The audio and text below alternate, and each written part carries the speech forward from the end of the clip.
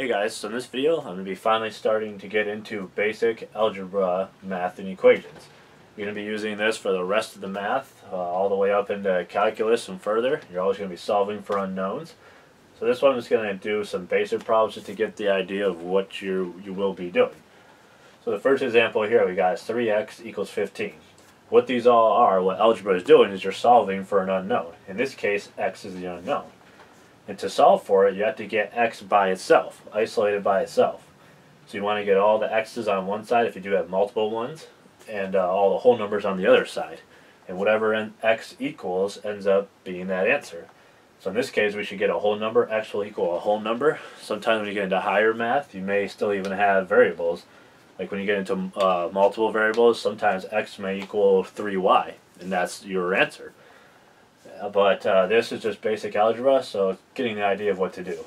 So mainly what you're doing, whatever you do to, to get x, you want to get x by itself. So whenever it's being done, something is being done to it, you do the opposite. So x is being multiplied by 3.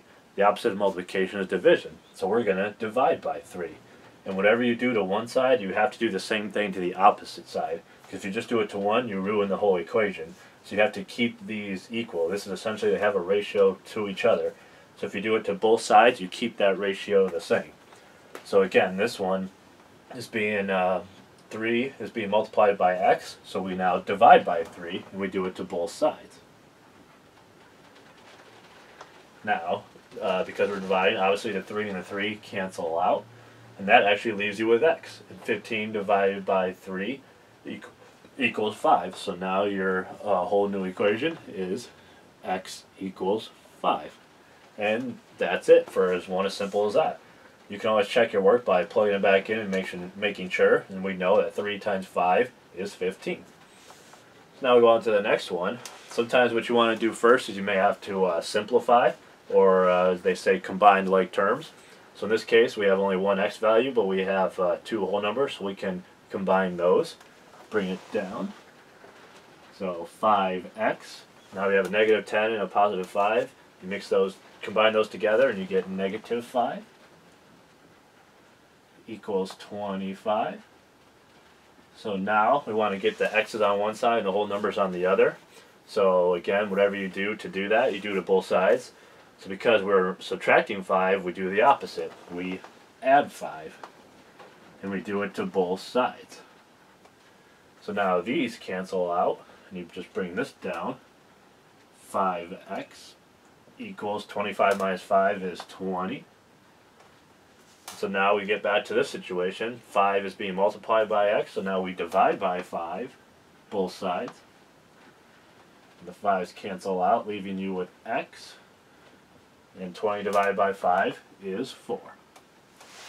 Then we have uh, one more example. Sometimes they may look like this. You may get x's and whole numbers on both sides. And again, like I said before, just get the x's on one and the whole numbers on the other. Sometimes people like to do it all at once. I like to do it one by one just to make, make sure I don't make a mistake or anything like that. So first I work with the whole numbers. So I'll bring down the, uh, um, the 11x. I won't do anything to that. I'm going to get the whole numbers on that side. So I'm going to, this one's subtracting 13, so I'm going to add 13 to both sides. And that cancels out. And now that equals 9x.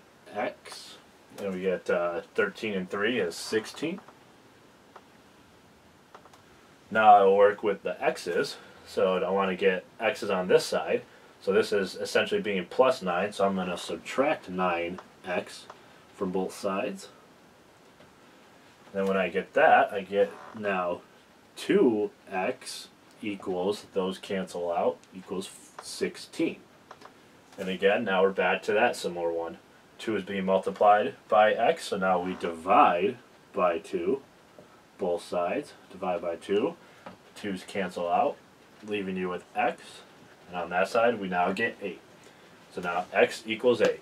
So that's how you basically do basic algebra. Just whatever you do, you want to isolate the x's and the whole numbers. And to do that, you do the opposite that's being done. And make sure you do it to both sides and you you will get your equation. You will solve for x. Hope that helps. Thanks for watching and please subscribe.